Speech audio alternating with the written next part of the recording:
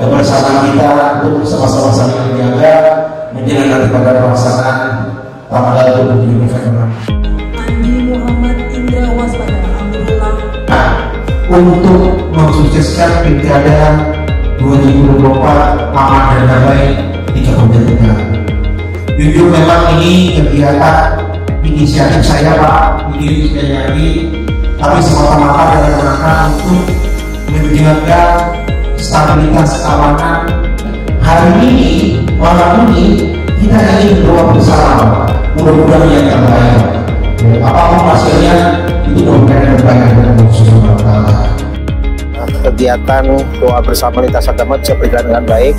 Tujuannya adalah sama-sama kita menggalang seluruh lapisan masyarakat, umat beragama untuk melaksanakan doa dalam rangka untuk melaksanakan kegiatan pemilu kada yang aman dan kondusif.